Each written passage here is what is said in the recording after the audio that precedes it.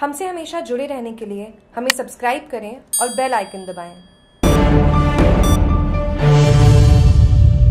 मुख्यमंत्री की बौखलाहट बता रही कांग्रेस डूबता जहाज़। स्वतंत्रता दिवस के पावन पर्व पर मुख्यमंत्री अशोक गहलोत के भारतीय सशस्त्र सेनाओं एवं अर्धसैनिक बलों को लेकर दिए गए बयान पर प्रतिक्रिया व्यक्त करते हुए रानीवाड़ा विधायक एवं भाजपा प्रदेश उपाध्यक्ष नारायण सिंह देवल ने कहा कि स्वतंत्रता जैसे पवित्र दिन पर भी अपनी घृणित राजनीति से देश की सेनाओं और जवानों का अपमान कांग्रेस पार्टी की परंपरा बन गई है।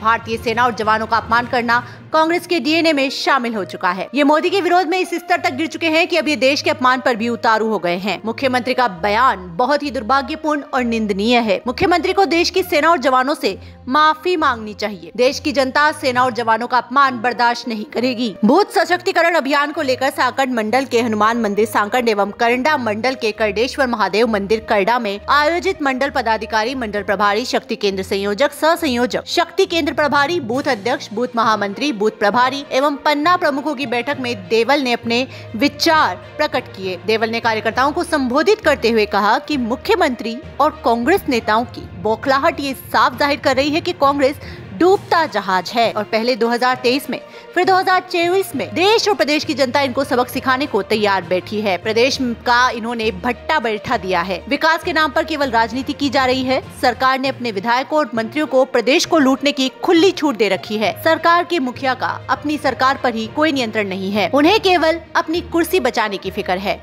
राजस्थान की सात करोड़ जनता के हितों से उन्हें कोई सरोकार नहीं है। वैसे भी कांग्रेस अपनी अंतिम साँसें गिन रही है और आने वाले समय में इतिहास बनकर रह जाएगी। एक तरफ़ देश के यशस्वी प्रधानमंत्री ने देशवासियों में देशभक्ति और राष्ट्रवाद की भावना जागृत करने के लिए आज़ादी का अमृत महोत्सव के तहत हर घर तिरंगा अभियान से देशवासियों में देशभक्ति का जो ज्वार पैदा किया है, वो सदियों तक याद रखा जाएगा। देशभक्ति का ऐसा नज़ारा हमने अपने जीवन काल में कभी नहीं देखा। वहीं दूसरी तरफ़ राजस्थान के मुख्यमंत्री कहते हैं कि भारतीय सेना और अर्ध सैनिक बल अपनी गाड़ियों में भाजपा का पैसा उनके कार्यालयों तक पहुंचाते हैं। ये इनकी घृणित मानसिकता का परिचायक है। देवल ने बूथ अध्यक्षों से कहा कि भाजपा की रणनीति है कि बूथ जीता तो चुनाव जीता।